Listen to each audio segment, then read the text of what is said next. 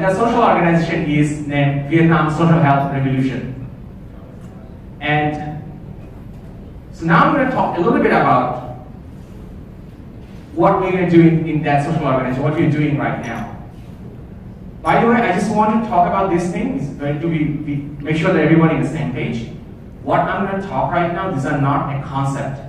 When it comes to social development, people love to talk about it. But when talking about doing, you see most of them backed off. But what I'm going to tell you right now, this is something we are doing it, we did it, and I'm going to talk, tell you with the numbers, with the impacts, right?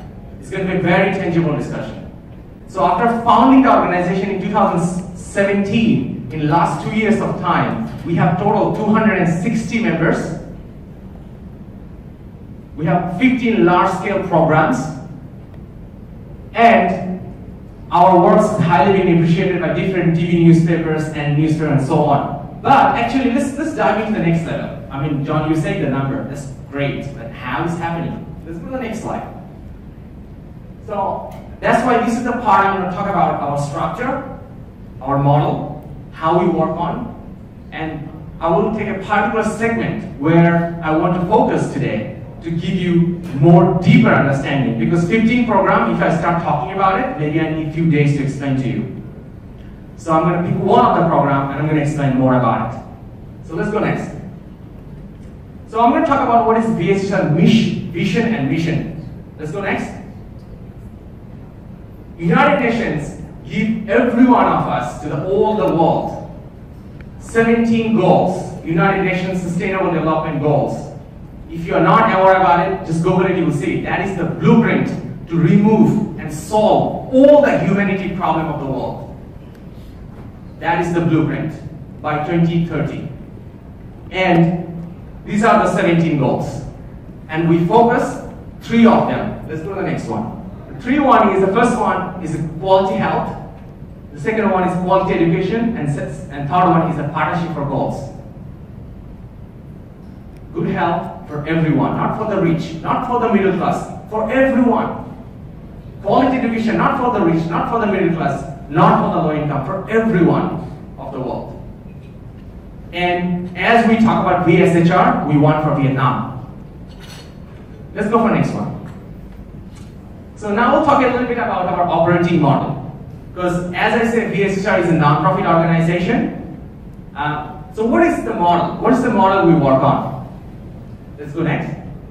So when it comes to non-profit organizations, there are mainly two things come to your mind. Number one is an NGO. Number two is a social business model. Maybe you guys are not really familiar much about social development, all of them, but I guess some of them already. The first one is NGO, the traditional, they have a fund, they have a project, they burn the project fund, and then they are scaling down their impact. The second one is the interesting one. It's a social business model. Let's go to the next. So this is the guy. His name is Dr. Yunus. He invented this one, the social business model, and because of that, he got a Nobel Prize of it. I guess most of you already know what is Nobel Prize. It's the most prestigious prize can be given to someone in the world, one of them, that prestigious prize.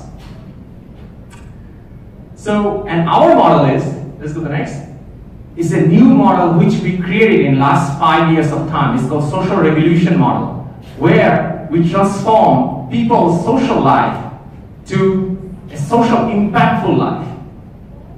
Create amazing skill set by doing three sustainable development projects which can help us to be better human and better person in the career and be more successful in the career too. So now you may be asking, oh John, you have created a new model. That sounds great. But what is the impact? Is it working? So I'm gonna. I told you I'm gonna go very quantitative and I'm to be very very tangible. So yeah, that's my that's the identity I'm here today. So I pull it out today. Finally. So I'm John. I'm founder and president of this social nonprofit organization named Vietnam Social Health Revolution. And we're also sponsoring this event as well too. And I'm so happy to share with you in the very last speech, man, to talk about this organization. And one thing I believe about in my life is it's always good when we give things to the community. Because if you can be brave enough to do things for, for the community, it always come back to us and make us better. Thank you very much. Thank you.